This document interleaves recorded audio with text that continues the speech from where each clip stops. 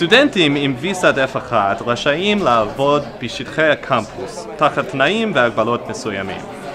לאחר השנה הראשונה ללימודים, סטודנטים רשאים להגיש בקשה לעבודה מחוץ לקמפוס, בתנאי שהם קיבלו אישור משירותי האזרחות וההגירה האמריקאיים. עכשיו, מספיק להפריע.